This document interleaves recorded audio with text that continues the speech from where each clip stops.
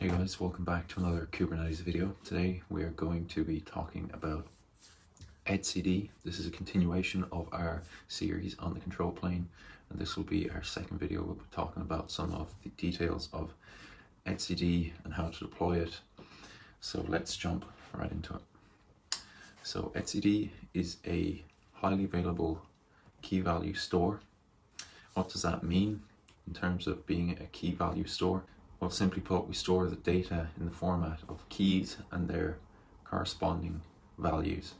To compare with that, we can look at what a regular tabular format would look like. So you could think about your MySQL databases or something of that nature. That would be stored in a tabular format, but we can represent the same data in a key value format as we can see here. It stores the desired state of the Kubernetes cluster.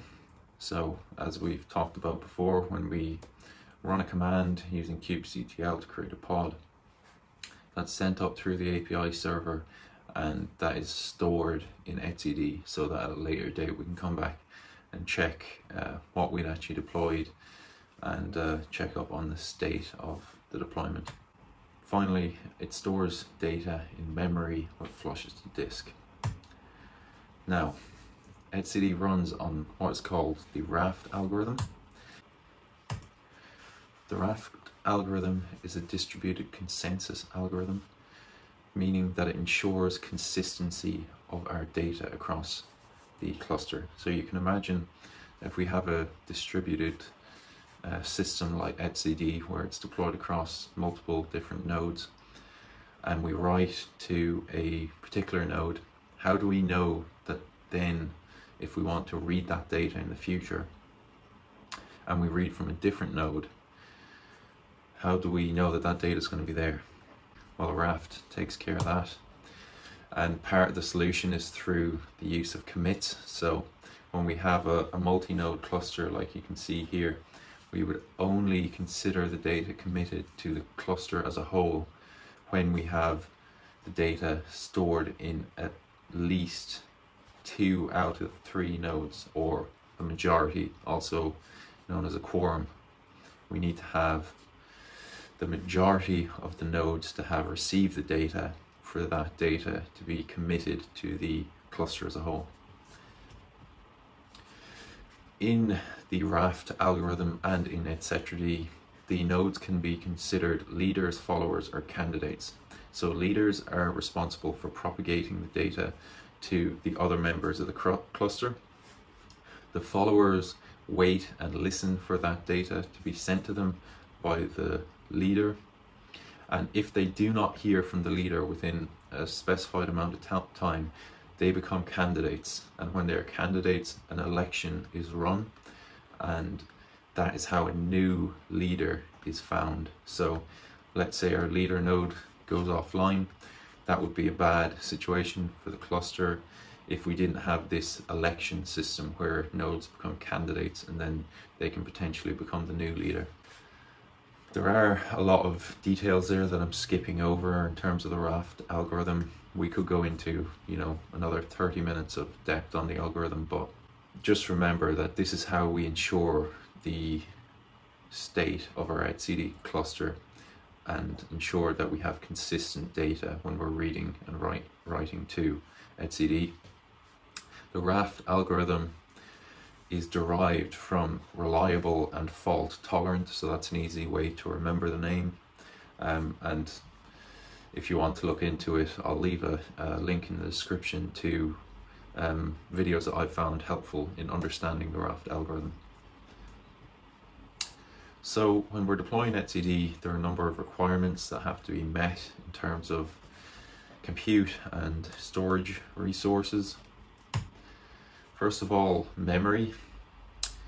Our RAM or memory is not normally one of the major constraints for etcd when we're encountering um, issues with etcd, but we do have to meet um, that requirement and if we reach the limit of what we have provisioned, that will impact the performance of our cluster.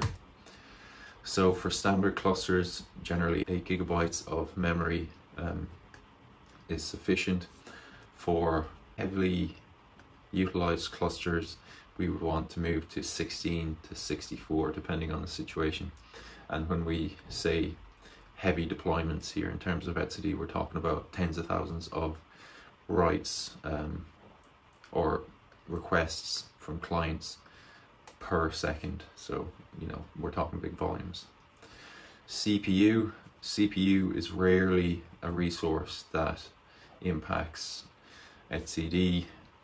Um, generally, we're looking at two cores for standard clusters and for those heavy deployments, as I mentioned before, similar criteria, we're looking at 8 to 16 cores. With disk, this is where um, we often see bottlenecks in terms of etcd performance, so it's very important that we get um, our disk correct. So it's critically important for performance and stability.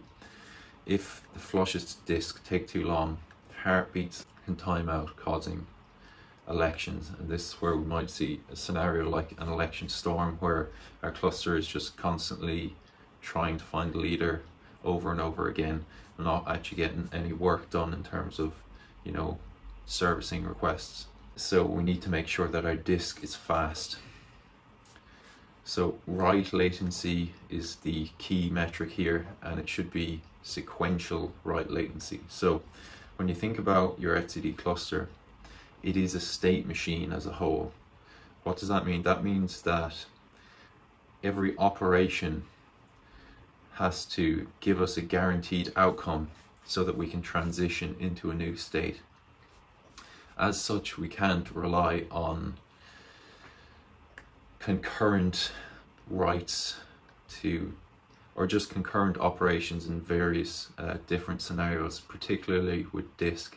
So we need to ensure that when we're provisioning our disk, it has to be highly performant in terms, terms of sequential input output operations per second. The bandwidth is important as well, but generally the bandwidth is more important for when a node goes down and we're recovering that node, we need to write a massive amount of data to that node so that it catches up in terms of state with all of the other nodes in the cluster. So in order for you to understand the difference between IOPS and bandwidth, let's consider the um, case of writing, say you have to write a essay IOPS would be the number of words that you are able to write per minute, whereas bandwidth would be the total amount of characters that you've written. So IOPS doesn't take into consideration the size of the words, it's just getting that write or read completed within the time.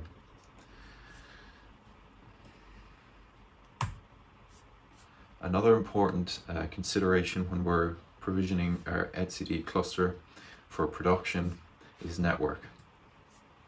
We need to have fast and reliable network um, and especially it needs to be reliable because if we're dropping a lot of packets while transferring our data, the likelihood is we're going to see errors in our etcd cluster. As I mentioned, the scenario of recovery for me members, again, it's very important here in terms of network bandwidth. Um, so network bandwidth could be a limiting factor. So we should be looking for 1 to 10 gigabyte connection. We also want latency to be as low as possible. So you can think about latency as the time to send a message between two points. Generally, latency will be dictated by the physical distance that is between the nodes in our cluster. So etcd recommends that our nodes are either co-located in the same data center or located in nearby data centers um, if we need to provide that disaster protection in case a whole data center were to go down, which is a, it's a possible scenario. So security, there are two considerations that we have to take into account here. First one is secure communication.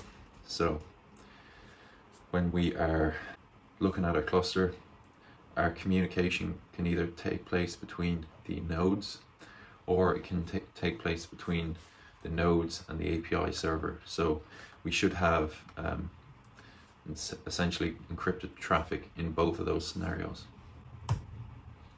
Then we have access control. We should use uh, TLS authentication. This is a built-in feature of etcd, so um, there's documentation on this I'll mention it in a second. Um, yeah, so you can check that documentation out. I'll also link it in the description so it's easier for you to go to the URL. Um, but yeah, we just need to use TLS authentication when communicating between our API server and our etcd nodes. Now, how we deploy etcd into our Kubernetes cluster has an impact when we are trying to deploy a highly available Kubernetes cluster. We have essentially two options. The first scenario is a stacked topology, like is shown here in the diagram. And what this means is that all components of our Kubernetes control plane are deployed within the same um, virtual machine or physical server, just within the same control plane node. So this means that we'll need um, a minimum of three control plane nodes for our cluster to be highly available it also means that if a node goes down, we lose everything. We don't just lose, um, you know, our API server, our controller manager, and our scheduler. We also lose etcd, and vice versa. When we lose etcd, we lose the other components. So that um, loss in terms of a single node has a bit more of a wide blast radius in terms of impact. The other um, potential setup for a highly available Kubernetes cluster is using external etcd nodes. In this case, as shown in this diagram, our control plane components are deployed onto a node, but etcd is entirely separate and is deployed onto separate nodes. And the API server simply communicates with that separate machine. It requires twice as many nodes um, in this scenario to set up a HA cluster. So we're obviously going to need our three control plane nodes, but we're also going to need our three etcd nodes. However, it does bring the benefit of being able to independently scale or even initially when we're setting up our cluster, we may decide we want five etcd nodes, but we only need three um, control plane nodes, that would be perfectly fine. Gives us a little bit more flexibility and it reduces the blast radius. If one of our hosts goes down, say we may only lose the control plane components if a control plane node goes down, or we may only lose an etcd host if etcd goes down. And one last thing to mention is that it is recommended in production environments to deploy five etcd nodes in our etcd cluster. This is a recommendation from the etcd team. etcd doesn't necessarily scale um, and provide better performance as it scales. So we do not want to set up any auto scaling rules or anything like that for etcd if we have assessed the scenario and we want to change the number of nodes, we may go ahead and do that, but that's only for specific edge cases. As a default, we'll want to set up our five node etcd cluster, which may or may not mean five node control plane cluster. And then um, as required, if our Kubernetes cluster grows, we can scale our etcd nodes vertically rather than horizontally. So that is it for our video on etcd. I hope that was useful. Um, if you have any questions, please do leave a comment. I'll be happy to answer. And please like and subscribe and I will talk to you in the next video.